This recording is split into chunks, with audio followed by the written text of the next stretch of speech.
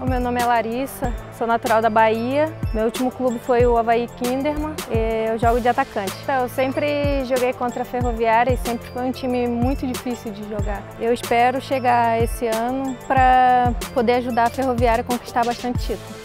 Então, o torcedor pode, pode esperar muito empenho e dedicação, então eu vou me dedicar bastante para poder me encaixar no, na equipe da melhor forma possível. Vamos, Ferroviária!